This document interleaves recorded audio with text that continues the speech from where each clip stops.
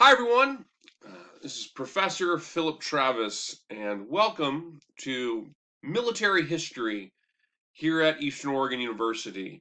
Uh, this is our welcoming announcement. I want to introduce you to some aspects of the class. I'll talk a little bit about this picture here, uh, as well as the assignments for this, this coming week, as well as some of the basic things you need to know when it comes to succeeding in this course, which again is Military History here at Eastern Oregon University.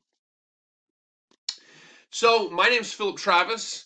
A little bit about me I did my PhD at Washington State University. I've been teaching with Eastern Oregon University since 2014. Um, I'm the author of a book uh, related to military and foreign policy history or diplomatic history. The name of the book was Reagan's War on Terrorism in Nicaragua. I've also authored a number of, of academic articles uh, as well as book reviews, and it's my pleasure um, to be uh, teaching military history and taking us through this really, really important, uh, this really important subject. And in this class, we're going to really focus on American military history, even though one of our first assignments, as this picture um, suggests, is actually connected to Chinese military history some over 2,000 years ago. And we'll talk a little bit about that in just a moment. But this class is primarily going to focus on American military history, particularly since the emergence of the Industrial Revolution. Now, we are going to talk about the American Revolution, but after the American Revolution, we're really going to focus on the American Civil War, the First and, of course, the Second World War, the Vietnam War, and then the 21st century wars of the global war on terrorism um, particularly Iraq and Afghanistan. And we're going to consider in this class, we're going to consider the experience of warfare for those who have fought um, for the United States, who have served in the United States. We're going to consider we're going to consider um, war from societal and cultural levels. We're going to consider how industrialization has transformed warfare, how the emergence of the United States as a global power has led to its involvement in a number of wars, um, so we are going to be looking at this from a number of different angles. Now in the class, there will be two exams. There will be a midterm exam and a final exam. And there are two papers. And uh, th those are the biggest chunk of your grade, the midterm exam, the final, in both of the papers. One of those papers is four pages, one of those papers is two pages. In, in this course, we have a number of different items we're going to be reading, and those are related to these papers. So we have a textbook, which we'll be reading every week, every week. That's the Ways of War book.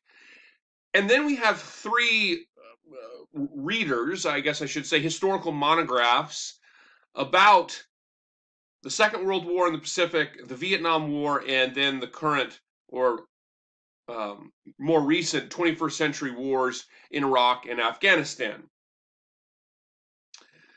So the first paper, the four-paged paper, so your two books, the one in World War II and the one in Vietnam, those books, you have E.B. Sledge's with the Old Breed, which is one of the real iconic uh, works of uh, the Second World War, particularly the Pacific Theater, and you have A Rumor of War by Philip Caputo about the Vietnam War. And that's also a really iconic um, um, firsthand account. Both of them are firsthand accounts of the American experience in these two conflicts. The first paper, which is a four page paper, you are going to write a four page paper that basically you read both of these books and you need to locate what you find to be a consistent theme from both of those authors and write a paper that um, explains that theme and uses evidence from those books to uh, support your your thesis. Um, and of course, there's an explanation, a written explanation of these papers in modules and also at the end of the syllabus. The second paper is by Brian Glyn Williams. It's titled Counter Jihad. He was he served in Iraq and Afghanistan in the 21st century, and the sub that paper is only two pages in length, and that's due during finals week. And that paper will ask you to address um, some of the core topics in the book Counter Jihad, particularly answering the question, according to Brian Glyn Williams, why, in fact, did uh, the terrorist attacks of September 11th occur, and what are some of the common sort of myths about um, America's involvement in particularly Iraq and Afghanistan that Brian Glyn Williams sort of uh, uh, gives light to, reveals, if you will. And of course, written explanations are in uh, at the bottom of the syllabus and also within modules. In this class, again, there's a midterm and a final. We'll talk more about those as we get there. On the midterm and final, you'll have multiple choice, true false questions. You'll also have um, an essay that you'll be writing on both of those, and I'll talk more about those as we get closer to those assignments. There are also weekly quizzes in the class from the readings or the lectures. And uh, every week there's a discussion forum, a graded discussion forum. So the discussion forum requirements are that you make one post and you reply twice to classmates. These are the basic requirements. I want you to post first or reply no later than Thursday by midnight. Then on another day, reply and post. I want one post, two replies, over two separate days. You could make your first post on Tuesday and reply on Thursday, and you'd be fine. You could post on Thursday and reply on Saturday, and you would be fine to fulfill those requirements as long as your post and your replies are respectful and substantial and they're drawing on the readings, the assigned materials, and the lectures in the class. Uh, now, for lectures, as, as I've kind of been mentioning, every week I will have, in addition to assigned materials like documentary films and readings, I will have a recorded lecture. It's a PowerPoint video lecture that relates to an aspect of the material that we're dealing with. And some of these materials, um, in some cases, will come from places that I myself have visited, particularly when we get to the E.B. Sledge book in World War II. I will have a, uh, a special video for you from Okinawa, which I've been fortunate enough to tour uh, many of the of the World War II sites and memorials in Okinawa, and I can uh, I will um, have a, a little video lecture from that site for you when we get to that subject. So every week there is a video lecture. Every week I have a video announcement like this. Every week there's a discussion forum. There are quizzes almost every week. And in the middle of the term, we have our midterm, we have a final at the end of the term, and there's two papers, a four pager and a two pager. Again, with the details are in modules and they're at the end of the syllabus. Navigating the class, just go through modules. If the homepage, you have my information on the homepage, the syllabus, but then when it comes to moving through the class, really all you need to know is following modules. Every week, I will publish the next week's module. I will do that on Sunday. And so the first thing you do is go through the Getting Started module. Then week one will open up. When week one is finished, the Sunday before week two, I will open the next module. And you'll have the readings and assignments and the discussion forum, the video lectures, the announcements, and these types of things in there. Now, I want everybody watching these announcements every week. I want you obviously doing all the material. I want you watching the lectures because uh, it's really going to help us learn uh, in this class. But I want everybody, first of all, to watch these announcements at the beginning of the week. And so to encourage you to do that, because this is where I'm going to get you kind of up to speed with what's going on in the class, what are we doing. Uh, I'll talk about some of the assignments, and I'll also talk a little bit about history. And so in order to encourage you to watch these uh, video announcements, I offer extra credit with these announcements. And I'll be finished in just a second. I know we're getting close to 10 minutes here.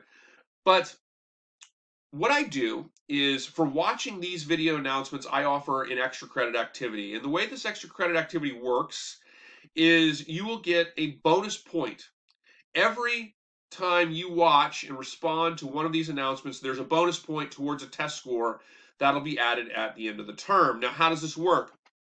The way this works is in these announcements, I will tell you about an interesting historical factoid that's related to um, the subject that we're covering for the week. And I take all of those bonus points and I add them to one of your test scores. So there's a potential here for 10 bonus points added to an exam score at the end of the term. Which, by the way, is significant. We're talking about almost three grade points. So you watch these video announcements, watch them at the beginning of the week so that you have a feeling for, for what we're doing in, in the class. You're getting started early. Um, you're going to get a heads up on things related to the test and papers and these types of things. And so watch these announcements so you know what's going on in the class. And at the end of the term, you do all of them. You're talking 10 bonus points, the equivalent of basically three grade points. So the factoid for this week is related to the statue you see in this picture here. This is a statue of Sun Tzu, who, of course, um, Sun Tzu's when exactly Sun Tzu existed is up for some debate. But Sun Tzu, of course, was the famed uh, military strategist who wrote the iconic work, The Art of War. And we're going to be reading from The Art of War this week. Everybody's been assigned a different section of the book. That's in the readings and assignments page. Everybody has a different section based on the alphabetical position of their name. And we're going to be reading this and discussing this in the discussion forum this week.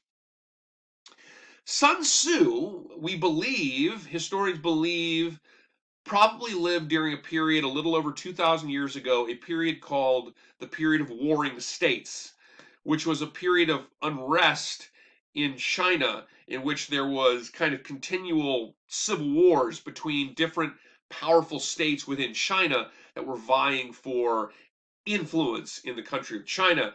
And Sun Tzu wrote his famous treatise, The Art of War. Interestingly, of course, this is a highly influential work, still influential to uh, uh, those involved in diplomacy and military strategy and these types of things today in the 21st century, over 2,000 years later. Interestingly, as you'll you'll you'll realize in reading, it's a short read, by the way, so I'm not asking you to read a huge book. Um, it's actually translated. It's like 40 pages or something. But you don't even have to read all of it. You're just reading sections. Um, but interestingly, and this is the factoid, Sun Tzu, the author of of the Art of War, that actually wasn't his birth name. That was an honorary title. And interestingly, the art of war, much of the art of war, has to do not necessarily with war itself, but rather ways that conflict can be avoided. Uh, the use of spies, strategy, um, these types of things in addition to actual battlefield engagement, much of the art of war is about sort of outsmarting uh, your enemy. Um, rather than exactly what happens when combat occurs, though there is that. So the factoid is, is that Sun Tzu's art of war, while it is about war, is perhaps less about the combat itself and more about how you outsmart an opponent. So the factoid for this week, Sun Tzu, The Art of War, which we'll be reading this week. And this is a statue of Sun Tzu, uh, an imagined statue, of course. Of course, it's very difficult to know um, how he looked. And in fact, um, there's debates over when exactly he lived in, in, in China. But uh, Sun Tzu, the author of The Art of War, which we'll be reading this week. I'm sorry this was a long announcement. They all won't be this long. It's the welcome announcement. Let's have a great week, and I look forward to seeing you in the discussion forum. I get involved in the discussion forum. Yes, replying to me counts towards the requirements in the discussion forum. So I'll see you in the discussion forum. Let's have a great week, and I will see you in the discussion forum.